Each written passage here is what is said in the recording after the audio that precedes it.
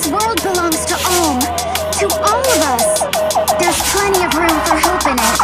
You. Oh my god! Oh! Oh my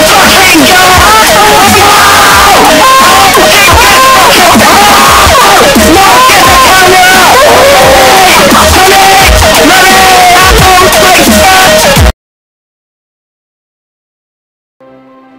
Hello, Faye. Oh, Silque. We seem to keep running into each other here on the battlefield. Yes, well, I was hoping we could get to know each other better.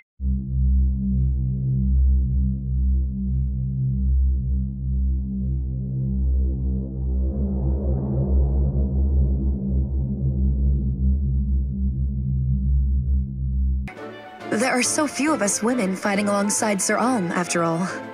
And there are many things I wish to talk about that aren't for the ears of men.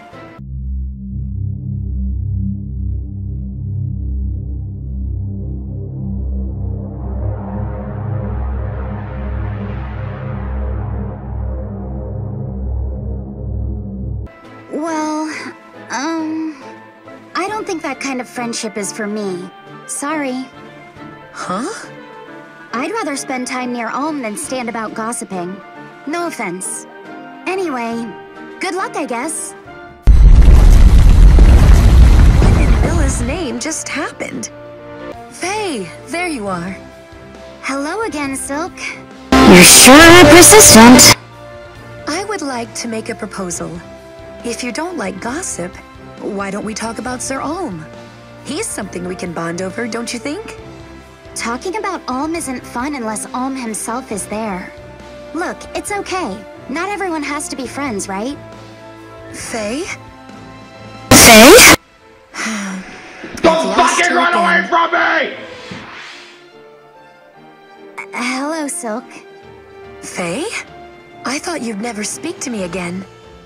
Well, after you stopped approaching me, I realized I kinda miss your company. I guess I needed a friend after all. Sorry I was so rude. Fuck me!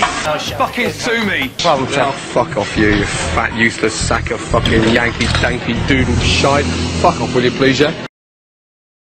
Oh, it's all right. It's just nice to feel missed. And now we can finally talk. You're a good person, Silque. Even if your tongue does like to wag. Don't even fucking talk to me.